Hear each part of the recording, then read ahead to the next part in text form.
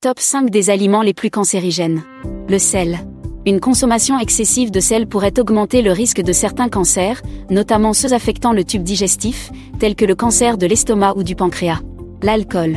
Lorsque nous consommons de l'alcool, notre organisme le transforme en acétaldéhyde, une molécule qui accroît les risques de cancer chez l'individu.